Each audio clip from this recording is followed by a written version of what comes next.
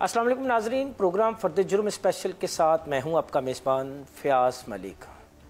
आज के प्रोग्राम में हम आपकी मुलाकात एक ऐसी शख्सियत से करवाएँगे, जिन्होंने सिंध पुलिस का चेहरा तब्दील कर दिया, जिन्होंने सिंध पुलिस के फरसूदा सिस्टम को ख़त्म करके एक ऐसा मॉडल खड़ा किया कि अपने तो अपने, गैर भी तारीफ़ करने पे मजबूर हो गए।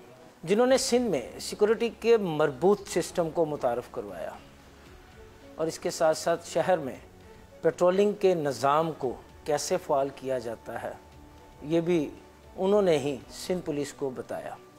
आज उनकी बदौलत सिंध पुलिस में एक अलग ही नाम है स्पेशल सिक्योरिटी यूनिट और एमरजेंसी वन फाइव का। जी हाँ मेरे साथ मौजूद हैं DIG security doctor Maqsood Ahmed.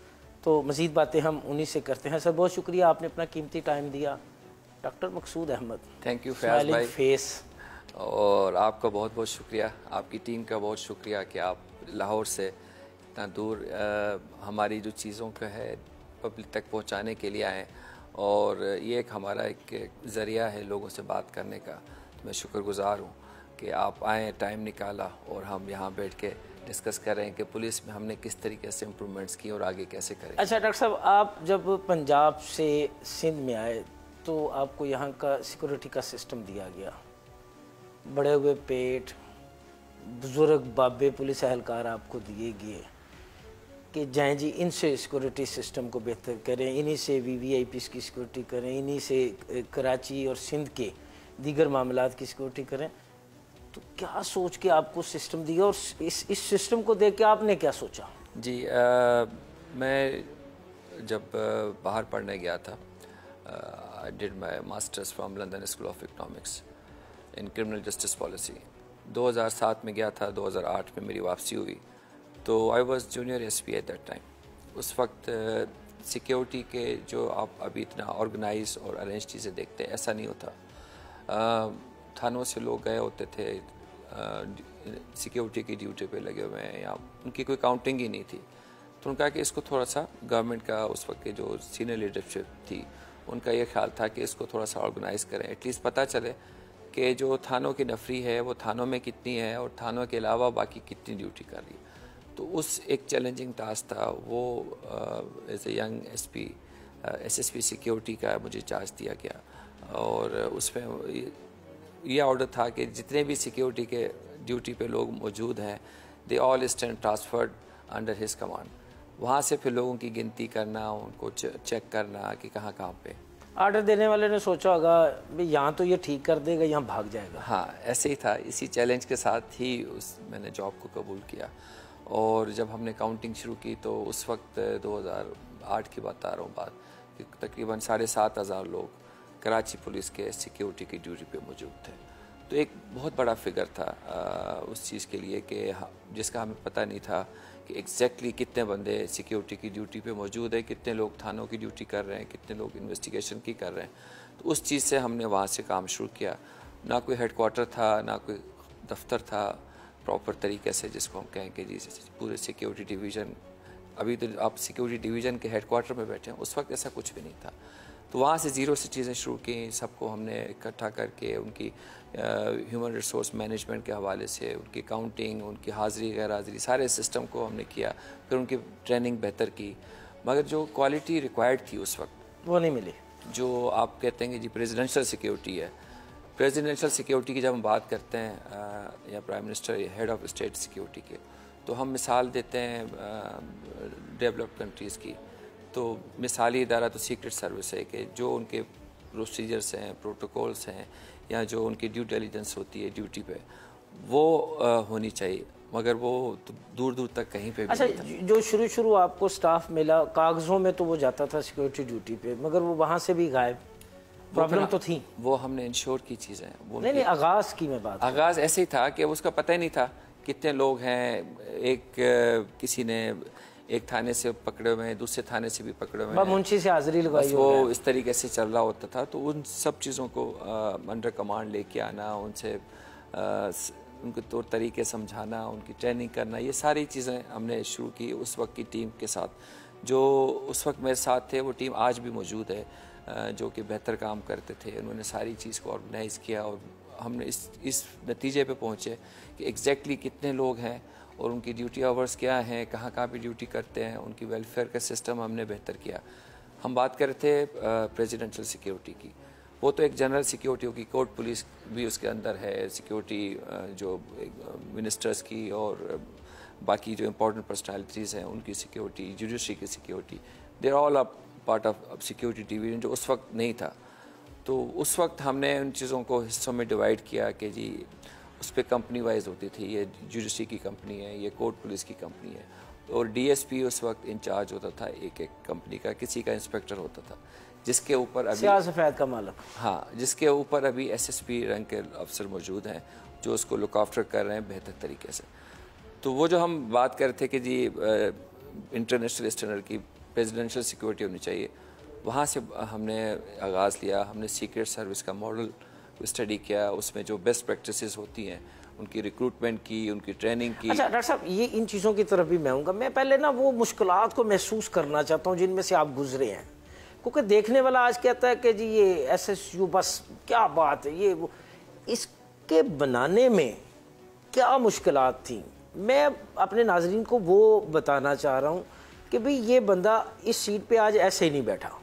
उसके आप तो है। मुश्किल का मैं आपको थोड़ा सा एक आपको मैं उसकी फीलर दे देता हूँ। ये कि जब मैं एसएसपी सिक्योरिटी था 2008 में तो परवेज़ मुशरफ साहब ही was the president from military side arm forces की तरफ़ से। जो आर्मी चीफ के लेवल की सिक्योरिटी होती है उनको दो ब्रिगेड्स जो हैं वो सिक्योर करती हैं एज ए प्रेसिडेंट तो कराची के अंदर जब उनका लास्ट विज़िट था तो दो ब्रिगेड उनको प्रोटेक्ट करती थी। इसके अलावा एसएसटी के कमांडोज अलग थे और एमआई के लोग अलग थे और बाकी एजेंसीज के लोग थे और पुलिस आउटर कॉर्डन में होती थी उस सिक्योरिटी के इंतज़ाम पे। ये सेटअप ना सिर्फ़ इधर था, पूरे पाकिस्तान में से था। लाहौर में भी जब हम देखते थे। अब उस फ़ेज़ से जो उस वक्त एक्टिव सर्विस के जो प्रेसिडेंट थे सिविलियन ट्रांजिशन हुई। उसमें बीबी शहीद का जो एपिसोड था, उसके अंदर जो थ्रेट के लेवल था उस वक्त पाकिस्तान लीडरशिप पे, उस चीज़ को आप सिर्फ़ जहन में रखें कि कितना ख़तरा था उन लोगों की सिक्योरिटी के हवाले से और मूवमेंट के हवाले से। उस, और जिस तरीके से थ्रेट वार्निंग आती थी, ना सिर्फ़ उस वक्त के प्रेसिडेंट साहब को, बल्कि जो उससे पहले मुशरफ साहब पे दो तीन दफ़ा अटैक हो चुके हैं। फिर जो सिविलियन प्रेसिडेंट आए तो वो जो आर्मी का जो सिक्योरिटी थी, वो तो हट गई क्योंकि आर्मी चीफ की तो नहीं थी सिक्योरिटी। फिर वो उसने पुलिस पे ज़िम्मेदारी आ गई कि आपने उसी लेवल की सिक्योरिटी, उन्हीं थ्रेट परसेप्शन पे आपने करनी है और उन लोगों के साथ करनी है जिनकी ट्रेनिंग का और जो, जिनका जो सारी चीज़ें पुलिस का जो नॉर्मल एक तरीका होता है, उस तरीके का जो आपका ह्यूमन रिसोर्स है, उन लोगों के साथ आपने इस तरह की लेवल की सिक्योरिटी करनी। वो बहुत बड़ा चैलेंज था। उसमें उन लोगों को तैयार करना, उनको ट्रेन करना, फिर इस हिसाब से उनकी सिक्योरिटी को ऑर्गेनाइज करना कि अल्लाह का शुक्र है कि एज ऑफ़ टुडे कोई इतना बड़ा वाक़ नहीं हुआ और हर चीज़ को हमने उसी ह्यूमन रिसोर्स से मैनेज किया।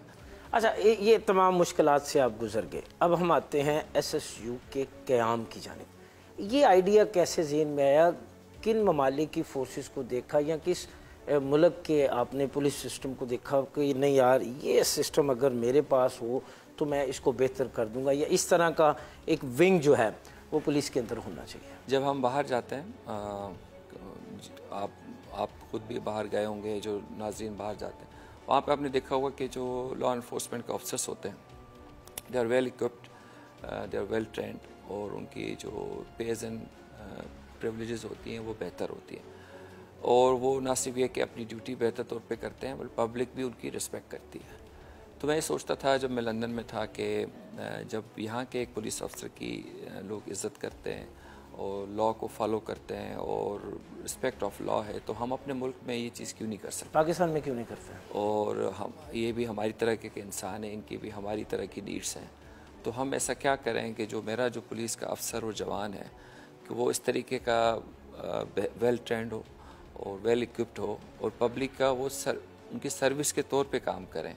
ना कि उनको तंग करे और उन, उसकी वजह से वो परेशानी ले और बदनामी का बायस बने डिपार्टमेंट के लिए भी और अपने लिए भी। तो वो एक फीलिंग थी कि वो इज़्ज़त मैंने अपने जवान को दिलानी है। तो अल्लाह ने मौका दिया कि I was S S P security I was directly looking after the security of president and prime minister of that time तो मेरी एक्सेस थी उन तक।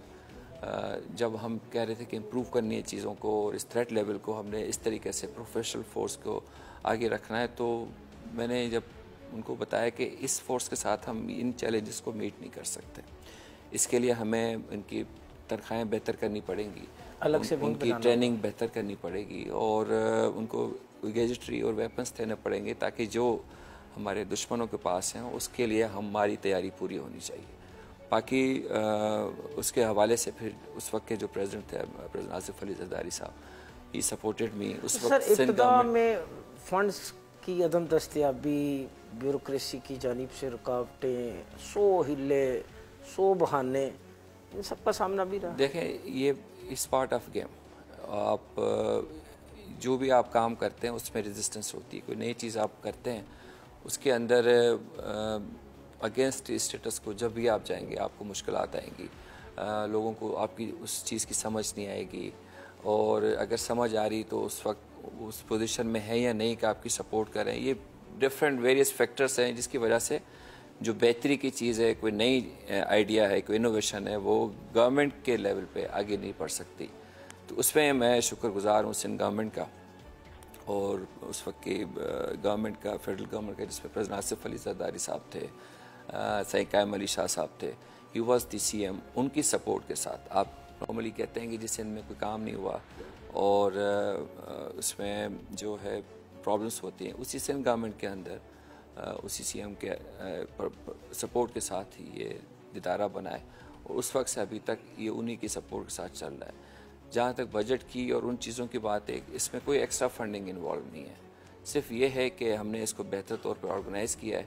जो बजटरी रिक्वायरमेंट्स हैं, वो गवर्नमेंट ने अप्रूव करके within the available resource हमने उसको बेहतर यूटिलाइज़ किया है और प्रोडक्ट आपके सामने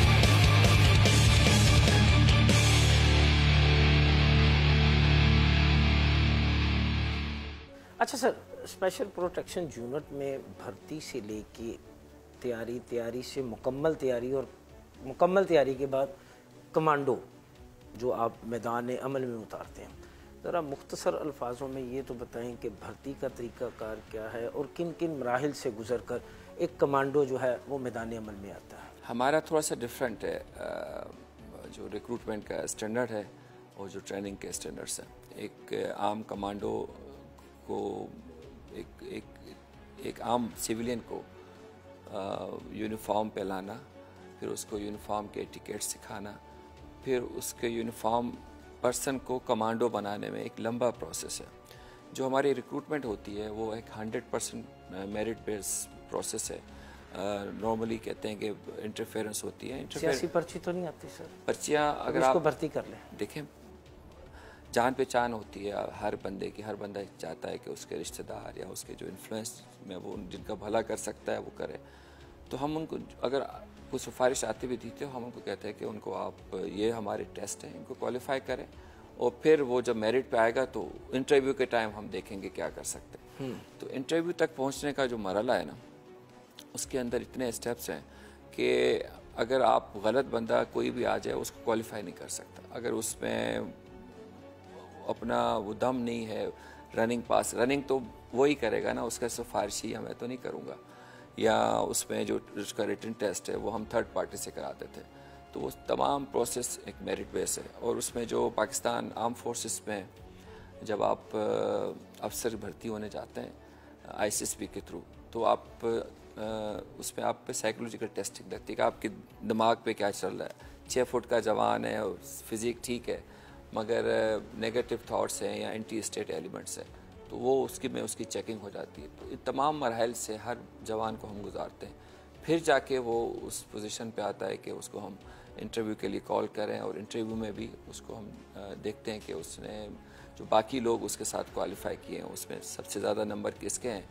और जिस बंदे ने सिंपल जो फॉर्म भरा है सौ दो सौ रुपये का और तमाम मराहल उसने गुजारे हैं। उसके एक मिसाल आपने देख ली है कि आज हमने अपॉइंटमेंट ऑर्डर्स दिए। ये सारे अपनी मेरिट पे आए। किसी की सिफारिश के बगैर और किसी चीज़ को इन्फ्लुएंस के बगैर इनको आज अपॉइंटमेंट ऑर्डर्स मिले हैं। अब इनकी ट्रेनिंग होगी और आगे ये कमांडो की पोजीशन ट्रेनिंग का मैार क्या है? कितने ट्रेनिंग सेंटर हैं एस एस यू जी इसमें हमारा जो बेसिक ट्रेनिंग सेंटर है वो एलीट ट्रेनिंग सेंटर है। शहीद बेनज़ीर भुट्टो रज़ाकबाद ट्रेनिंग सेंटर। उसके अंदर हम तमाम कोर्सेज उनको करवाते हैं, जो बेसिक कोर्स है, एडवांस कोर्स है, फिर जो एलीट में जो जितने कोर्सेज हैं हमने वहीं पर रखे हुए हैं। बेसिक ट्रेनिंग के बाद वो बंदा जब क्वालिफाई करता है तो कमांडो के बैच के साथ वहाँ से निकलता है। और उसके बाद उसके रिफ्रेशर कोर्सेज होते हैं। और रिफ्रेशर कोर्सेज में ना सिर्फ़ ये कि इन हाउस ट्रेनिंग होती है बल्कि जो बाकी हमारे पाकिस्तान आर्मी और पाकिस्तान नेवी के जो इस तरह के जितने भी ट्रेनिंग सेंटर्स हैं, कमांडो ट्रेनिंग सेंटर्स हैं, या जो पाकिस्तान नेवी का नेवी सीज का ट्रेनिंग सेंटर है, उनके साथ हमारा कोऑर्डिनेशन है, उनके साथ हमारे बैचेस चलते रहते हैं और ट्रेनिंग जारी अभी भी हमारा एक बैच पाकिस्तान नेवी के जो सील्स का ट्रेनिंग सेंटर है, वहाँ पे अभी भी उनकी ट्रेनिंग चल रही है। तो एक कांस्टेंट प्रोसेस है कि बेसिक ट्रेनिंग के बाद भी वो बंदा अपनी इम्प्रूवमेंट करता रहता है और जो जो नए नए चैलेंजेस आते हैं या जो कोई नई टेक्निक्स आते हैं या थ्रेड्स आते हैं हम उसके बारे में उनको इन्फॉर्म करते रहते हैं। अच्छा सर क्या ऐसा है आपके डिपार्टमेंट में कि यहाँ एक आदमी आया उसने अपनी ट्रेनिंग मुकम्मल की कमांडो बन गया फिर उसके बाद उसने सिफारिश की और वो थाने में चला गया या किसी दूसरे विंग में चला गया? दस साल तक वो कहीं नहीं जा सकता। अच्छा दस साल तक लिए पाबंद है। उसका ये है कि हम उस पर इन्वेस्टमेंट करते हैं ट्रेनिंग के हवाले से जो इन्फॉर्मेशन जो उसके साथ हम थ्रेट लेवल शेयर करते हैं, वो इसी, वो एक सेंसिटिव इन्फॉर्मेशन होती है। तो ये हमारा जो एक एक कमांडो है ना, वो हमारे लिए हमारा रिसोर्स है वो, और हमारा एसेट है। हम उस पर इन्वेस्ट करते हैं, उसको इम्प्रूव करते हैं, और उससे हम परफॉर्मेंस की ड्यूटी लेते हैं। इसी वजह से आपने देखा होगा कि हर बंदा एक दूसरे के साथ रिलेटेड है और और सिंक्रोनाइज है। ये पूरा एक इकोसिस्टम है जो हमने बनाया हुआ है कि एक बंदे से रिक्रूटमेंट से लेके उसकी जो जहाँ तक, जब तक वो डिपार्टमेंट में है, उसकी वेलफेयर का ख्याल, उसकी प्रमोशन का ख्याल, हर चीज़ हम उसको लुक आफ्टर करते हैं ताकि उसको जो बेसिक नीड्स की परेशानी वो ना हो। उसकी ट्रांसपोर्टेशन का बंदोबस्त है, जहाँ पे भी ड्यूटी पे जाता है, उसको इज़्ज़त से लेके जाते हैं। ड्यूटी आवर्स हमने जस्टिफाई किए हुए हैं हर एक के लिए। माइनस कोई बड़े इवेंट के आठ घंटे की उसकी रूटीन की ड्यूटी है। खाना उसको ड्यूटी पॉइंट पे मिलता है। ये तमाम चीज़ें जो कि जवान के लिए होनी चाहिए, जवान और अफसर के लिए, वो हमने यहाँ पे इंश्योर की हुई है। यही वजह है कि जो लोग यहाँ पे आते हैं तो वो कंटिन्यू करते हैं अपनी ड्यूटी में। दस साल के बाद भी वो यहीं पे रहते हैं और इस चीज़ को लेके चलते हैं आगे। इसमें कितनी हकीकत है कि स्पेशल प्रोटेक्शन यूनिट सिर्फ़ सियासी शख्सियात या अला अहदेदारों की सिक्योरिटी पे है, आम आवाम से इसका कोई ताल्लुक नहीं। स्पेशल सिक्योरिटी यूनिट जब हम बनाया था, उस वक्त जो थ्रेट का मैंने आपको शुरू में बताया कि बहुत ज़्यादा ख़तरात थे हमारी लीडरशिप को, और इस तरीके का कोई इदारा नहीं था। जैसे यूएसए में सीक्रेट सर्विस है, उनकी ड्यूटी यही होती है कि टू प्रोटेक्ट इम्पोर्टेंट इंस्टॉलेशंस और important personalities including prime minister former president and former president and governors तो वो चीज़ हम हम मिसाल तो देते हैं कि ऐसे बन जाए तो मगर वो हम उस तरीके के उसको फॉलो नहीं करते। तो ये उसी मॉडल का बना हुआ है और उसमें हमने कोशिश की है कि उनके जो बेस्ट प्रैक्टिसेस हैं उसको फॉलो करें और उसमें जो उनकी ट्रेनिंग के हवाले से जो भी चीज़ें हमें रिक्वायर्ड है, वो हम अपने जवानों को दें।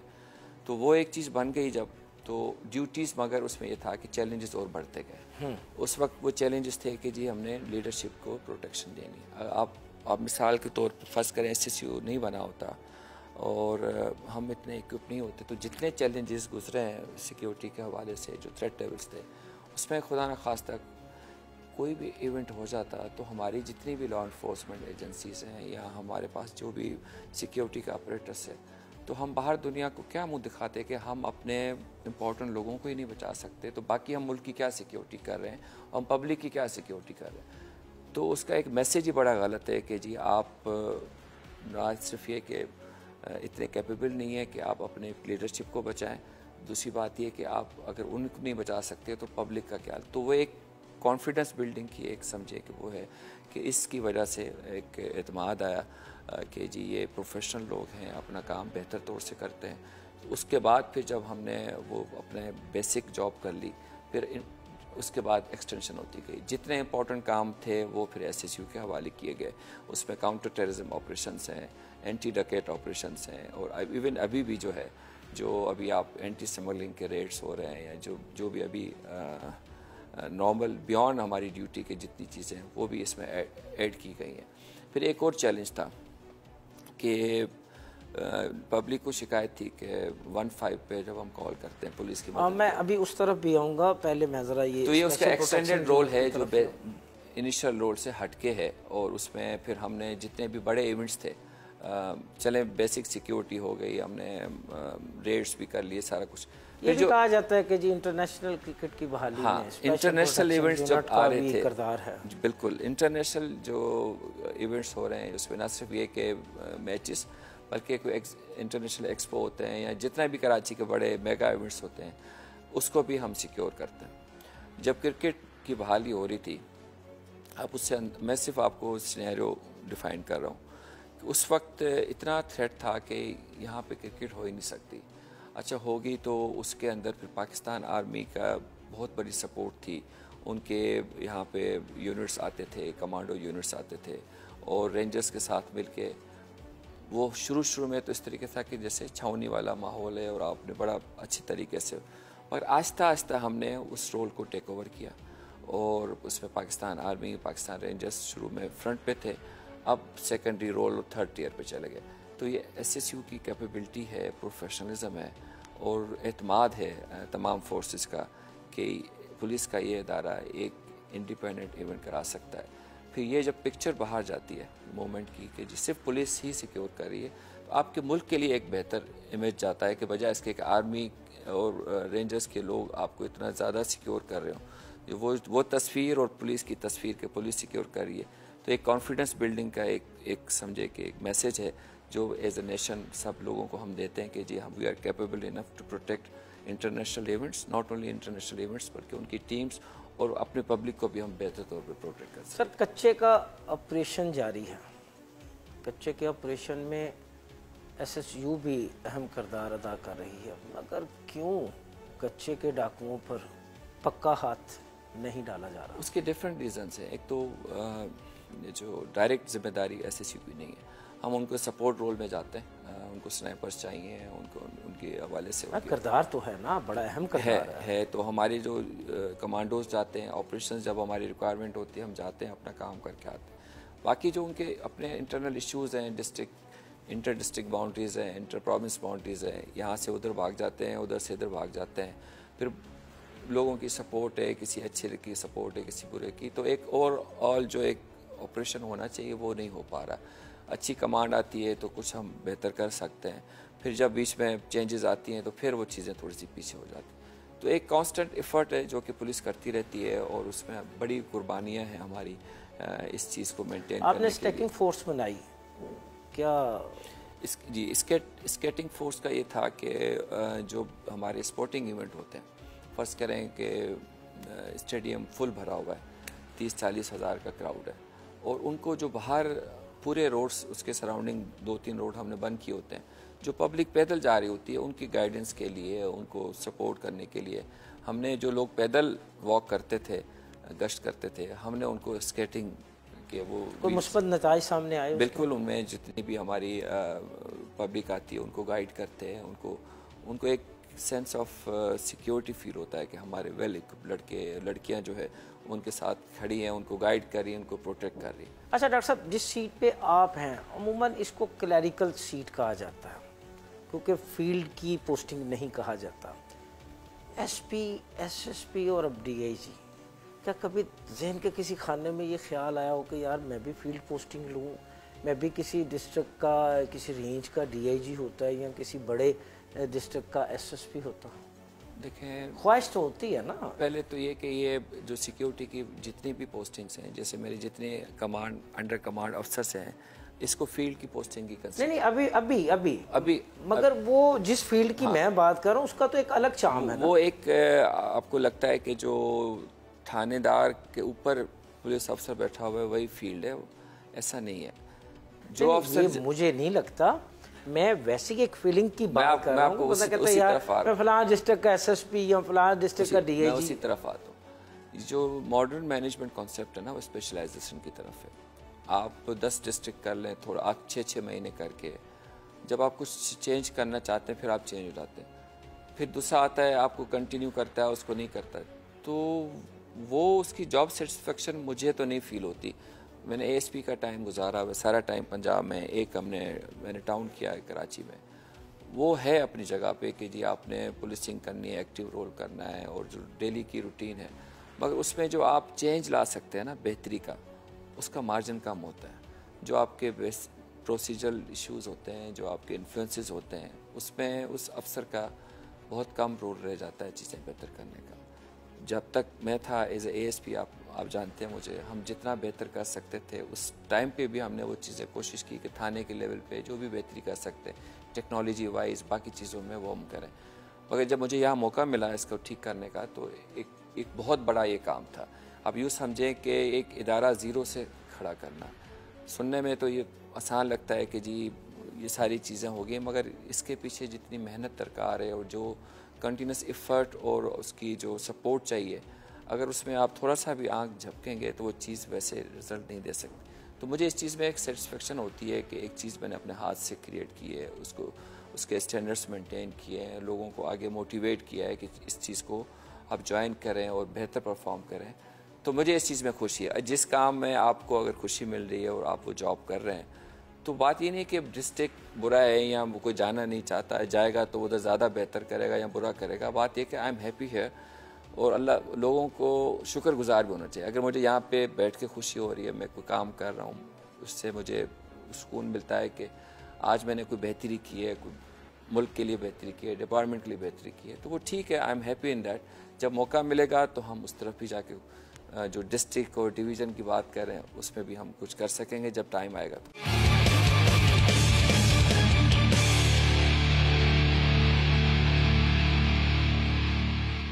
स्पेशल सिक्योरिटी यूनिट के बाद आपको ज़िम्मेदारी दी गई एमरजेंसी वन फाइव मददगार की।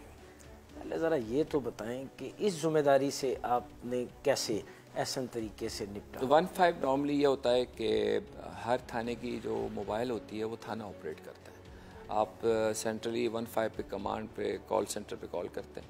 वो उस थाने को मैसेज जाता है कि जी आपने इस जगह पे इमरजेंसी रिस्पॉन्ड करना है।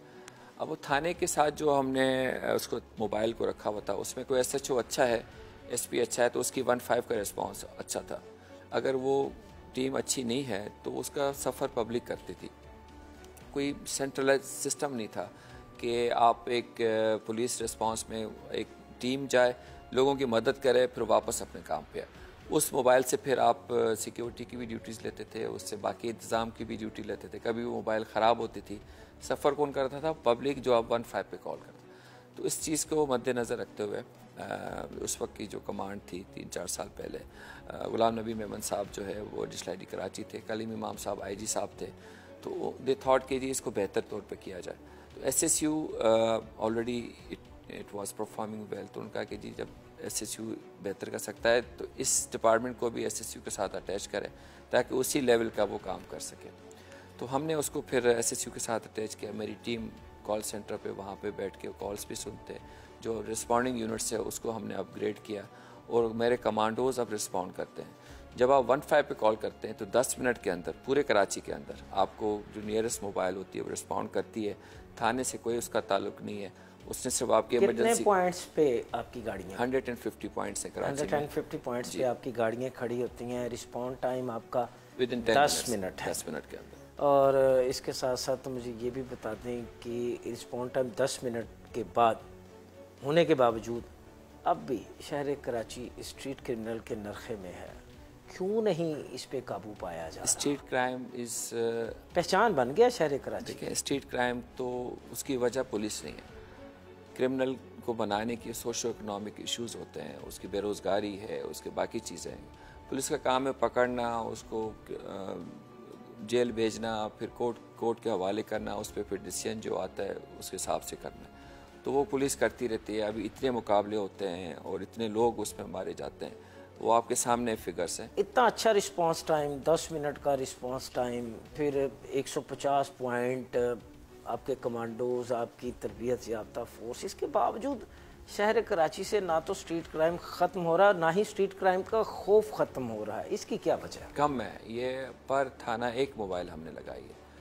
अगर आप आइडियली देखें तो पर थाना तीन से पाँच मोबाइल होने चाहिए और मोटरसाइकिल के कोई पाँच यूनिट्स पाँच से दस यूनिट होने चाहिए, कोई बीस मोटरसाइकिल होनी चाहिए, ताकि हर गली, हर चीज़ आप कवर कर सकें इतने बड़े शहर की। ढाई करोड़ के करीब की आबादी है अनऑफिशियल जो है। उसके हिसाब से जो रिसोर्स हैं उसके अंदर ये परफॉर्मेंस जो है बहुत बेहतर है और इसको मजीद बेहतर किया जा सकता है अगर जैसे ऑफिसर की मौजूदगी में भी शहरी खौफ व हरास का शिकार हैं खौफ में मुबतला हैं कहते हैं मोबाइल हाथ में नहीं पकड़ना स्नैचिंग हो जाएगी चपट्टा मारा जाएगा। डॉक्टर मकसूद मेमन जिस शहर का एमरजेंसी वन फाइव का हेड हो। एमरजेंसी में तो हम पहुँच रहे हैं ना। मकसद ये कि आप पहले इस कुछ देखें कि एमरजेंसी हो रही है आपके साथ फिर भी पुलिस नहीं आ रही।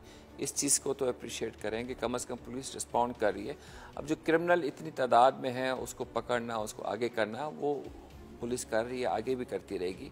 It will take time to address this issue ये खाली पुलिस का मसला नहीं है। कोई ऐसा ही पैगाम दे दें, जिससे शहर कराची के बासी और मेरे जैसे दूसरे शहर से आने वाले इतमान कर लें कि भी कराची महफूज है। कराची गैर महफूज नहीं है। गैर महफूज नहीं है कराची। वन फाइव पर आप कॉल करते हैं, पुलिस आपकी मदद को पहुँचती है क्रिमिनल सिस्टम आपकी सपोर्ट करता है। आप अभी चलें मोबाइल का इशू है अंडरस्टैंड के स्ट्रीट क्राइम है। आप वो वक्त भूल गए जब इसी शहर में दस दस लाशें उठती थी। Police officers law enforcement agencies पे अटैक होता था। इस सारे माहौल में अभी ज़ीरो आपका वो इस तरीके के क्राइम है। किडनैपिंग फॉर रेंसम नहीं है। आपका कोई जो बाकी इश्यूज़ होते थे आपके लियारी गैंग वॉर नहीं है आपके बाकी चीज़ें नहीं है ये किसने ख़त्म किया? तो ये कराची पुलिस ने ख़त्म किया। सर इनको भी तो ये टाइम हर चीज़ का टाइम लगता है। देखें आप कराची की बात करते हैं इवन न्यूयॉर्क के अंदर भी आप जाएँ तो उधर भी स्ट्रीट मैं कराची की बात नहीं कर रहा मैं कराची का पॉजिटिव जो है फेस वो दिखाने की कोशिश कर रहा हूँ जहाँ लोगों को यहाँ आने से पहले डराया जाता है भाई कराची ना जाना मोबाइल छीन जाएगा सड़क पे ना फिरना भाई वो टीटी वाले आ जाएँगे। मैं तो इस तासुर को ख़त्म करने की कोशिश टाइम लगेगा चीज़ों को इम्प्रूव करें। हमने देखा जहाँ से शुरू किया अभी Karachi top ten dangerous cities में आता था। अभी वो हालात नहीं है। चीज़ें बेहतर हो रही हैं आहिस्ता आहिस्ता और बेहतर होंगी। इसमें टेक्नोलॉजी का इन्वॉलमेंट है इसमें बाकी चीज़ों की एडिशन है। जब वो वक्त के साथ एड ऑन होगी तो और चीज़ें बेहतर होती जाएँगी। ऐसी चीज़ नहीं है नामुमकिन के ना कर सकें। ये डुएबल है और इन इसी टीम ने करना है और बहुत जल्द करना चलें अब आपसे अच्छी अच्छी बातें करते हैं आपके बारे में। अब सुना कोई यूनिवर्सिटी बनाने का इरादा रखते हैं? जो प्रोग्रेस है वो उनकी तालीम में उनकी विजडम में पोशीदा है। ये कौमों से लेके डिपार्टमेंट्स पे बात आती है और डिपार्टमेंट्स में वो जब तक वो चीज़ें हम उनको पढ़ाएँगे नहीं, उनको बेहतर नहीं करेंगे, अब आगे नहीं बढ़ सकते। तो हम जो क्राइम के अगेंस्ट लड़ रहे हैं टेररिज्म के अगेंस्ट लड़ रहे हैं, उस पर बेसिक ट्रेनिंग तो पुलिस स्कूल एंड कॉलेज में होती है, मगर इस तरह कोई प्रॉपर सेटअप नहीं है, जो हम, जहाँ पे उनको बेहतर अली तालीम इंटरनेशनल स्टैंडर्ड दे सके। उसके लिए एक पुराना मतलब इसको मेरे थॉट थी कि एक पुलिस यूनिवर्सिटी होनी चाहिए जिसमें ना सिर्फ़ ये कि सिविलियन पढ़ें, बल्कि अपने पुलिस अफसर्स को भी हम लॉ इन्फोर्समेंट की काउंटर टेररिज्म की तालीम दे सकें ताकि जो उनकी फ़ील्ड के इश्यूज़ हैं प्रॉब्लम्स हैं उसको बेहतर तो टेररिज्म के हवाले से आपको गुजशत दिनों एक डिग्री से भी नवाजा गया ये भी ज़रा हमारे नाजिन जी मैं recently did my P H D in terrorism financing मेरा जो रिसर्च टॉपिक था वो टेररिज्म फाइनेंसिंग पाकिस्तान था और यूके की यूनिवर्सिटी से मैंने पढ़ा है और रिसेंटली अभी ये रिसर्च की बुक आपके सामने पड़ी हुई है। और उसमें यही था कि हमारे क्या इश्यूज़ हैं चैलेंजेस क्या हैं और टेररिज्म को हम कैसे रोक सकते हैं अगर हम उनकी फाइनेंसिस को कंट्रोल कर सकें। सर सैलाब के दिनों में भी आपके यूनिट ने सिक्योरिटी यूनिट ने और दीगर जो आपके डिपार्टमेंट्स हैं उन्होंने बड़ी मदद की बड़ा कुलीदी करदार अदा किया। ज़रा इस बारे में भी सैलाब के दिनों में बहुत मुश्किल टाइम था पूरे पाकिस्तान में। और लोगों को खाने को नहीं था। जो लोग अपने घरों से निकल के सड़कों पे बैठे हुए थे, पूरा सिंध उसमें पानी के अंदर आप एक समझे कि दरिया का मंजर पेश कर रहा था। उसके अंदर जितने भी लोग वहाँ पे फैक्ट्री थे, वहाँ तक इमदाद पहुँचना भी मुश्किल हो रही थी। तो उस चीज़ को हमने बड़ी सपोर्ट की। उसमें आई जी साहब, गुलाम नबी मेमन साहब, उनका, उनकी सपोर्ट के साथ पूरी सिंध पुलिस इस काम पे लगे रही। जितने भी डी थे उन्होंने हेल्प की। यहाँ पे सिंध पुलिस का एक सेंट्रल कमांड सेंटर था जिसमें जितने लोगों की रिक्वायरमेंट आती थी सैलाब के हवाले से कि उनको खाना नहीं मिल रहा दवाएँ नहीं मिल रही और राशन मेडिकल कैंप भी लगाए थे सर राशन पहुँचाने के इश्यूज़ थे कि फ़र्ज़ करें आप officially as a government agency या मुखैर हजरात जो उधर हेल्प करना चाहते थे। हम्म। वो आगे तक जा नहीं सकते थे। लोग उनको रास्ते में रोक लेते थे। लूट मार हो रही थी कि खाने को नहीं मिल रहा। तो जो आगे इंटीरियर के डिस्ट्रिक्ट थे वहाँ तक इमदाद नहीं पहुँच पा रही। तो हमने उनके साथ मिल के उनको ना सिर्फ़ सिक्योरिटी दी बल्कि उनको अपने वॉल्टियर्स दे ताकि जाके लोगों की मदद करें उनको खाना पहुँचाएँ उनको दवाइयाँ दें। पूरे सिंध के अंदर हमने ये सारा ऑपरेशन किया।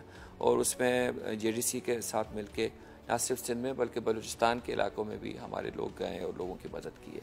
अच्छा सर कोरोना वायरस के दौरान भी आपका यूनिट जो है बड़ा पेश पेश रहा लोगों की खिदमत करने के लिए। फिर जो जिन माफिया ने अद्वियात को गायब कर दिया था उनके ख़िलाफ़ कार्रवाई करने के हवाले से ज़रा ये भी आप हमारे जी करोना में भी मुश्किल टाइम था पूरे मुल्क पे क्या पूरी दुनिया पे।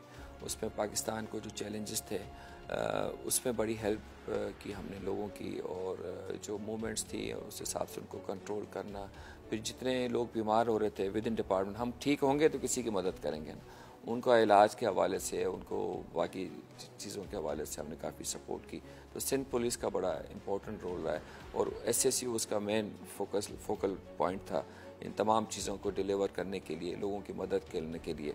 और हमने ना सिर्फ़ एक अपने डिपार्टमेंट के लोगों की हेल्प की बल्कि जो बाकी भी पब्लिक को अगर कहीं पे कोई हेल्प चाहिए थी तो हमने अपनी पूरी सपोर्ट उनके साथ की और लोगों को आ, मुश्किल वक्त में हमने आ, उस टाइम पे इस चीज़ को इंश्योर किया कि कम परेशानी के साथ वो वक्त गुजरे। सर डीआईजी सिक्योरिटी की हैसियत से आप सिंध और कराची के शहरियों को क्या पैगाम देना चाहेंगे? जी कराची की और सिंध के शहरियों के लिए यही पैगाम है कि पुलिस की लीडरशिप बहुत मेहनत के साथ काम कर रही है।